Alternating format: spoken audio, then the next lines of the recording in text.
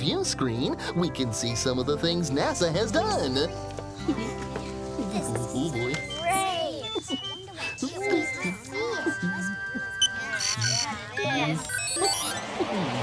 Ready, Gam?